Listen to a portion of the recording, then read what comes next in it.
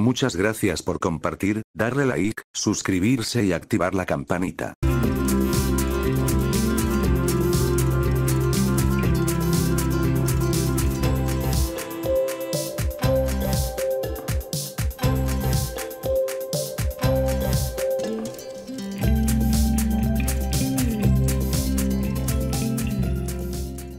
El siguiente gráfico muestra la cantidad de estudiantes que están matriculados en las cuatro secciones por cuarto grado. ¿no? De cuarto grado están matriculados. Pero me dice un dato importante. Tenemos de la sección A hasta la sección D. Tenemos, dice, por cada figurita aquí representa cuatro estudiantes.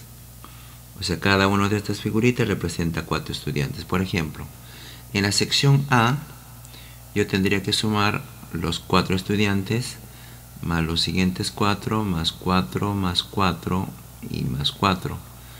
Solamente analizando la sección A tendría, aquí estoy sumando 5 veces 4 que sería 5 por 4.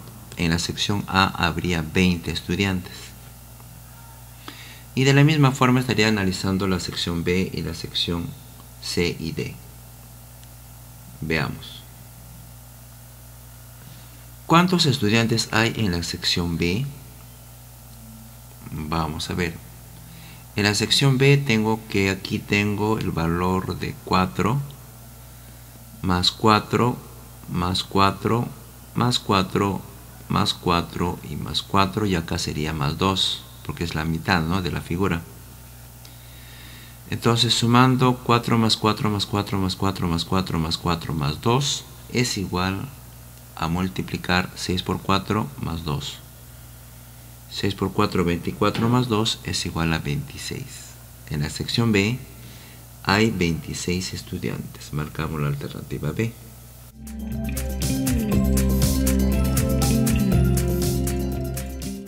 ¿Cuántos estudiantes hay más en la sección C que en la sección D?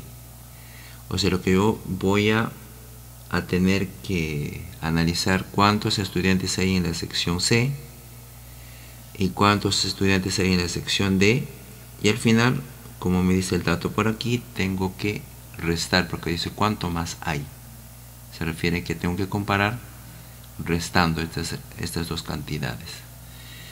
Digo en la sección C hay que multiplicar 6 por 4 24 en la sección C hay 24 en la sección D tendré que sumar 4 más 4 más 4 más 4, que sería 4 por 4 es igual a 16.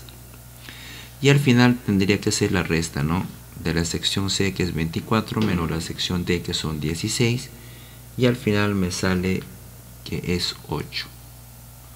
Marcamos la alternativa B. Muchas gracias por su atención. No olviden compartir darle like, suscribirse y activar la campanita para encontrarnos en el siguiente video. También lo invito a visitar mis otros canales. Muchísimas gracias por sus buenos comentarios. Usted también puede dejar su comentario para incluir en este lugar. Pronto estaré subiendo un nuevo video. Que tenga un bonito día.